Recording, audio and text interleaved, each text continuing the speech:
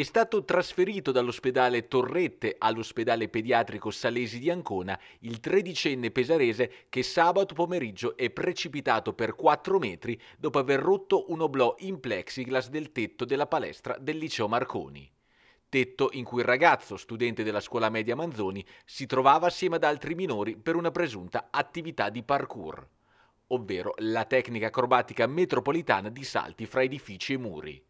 Questo quanto dichiarato alla polizia da alcuni dei ragazzi intercettati dagli agenti che seguono le indagini.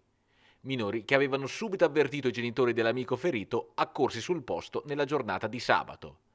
Il tredicenne in questione attualmente non risulta in pericolo di vita. Era già vigile sabato al momento dei soccorsi e risulta attualmente ricoverato in prognosi riservata, ma sembra abbia superato la fase critica. Ha riportato frattura a una gamba e una compressione della cassa toracica.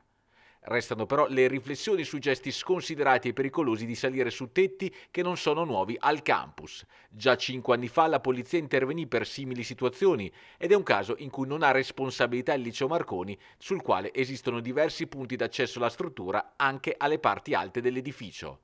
La provincia, proprietaria dello stabile, aveva già potenziato il servizio di telecamere nell'area, una videosorveglianza che è attualmente sotto esame per chiarire tutti i contorni della vicenda.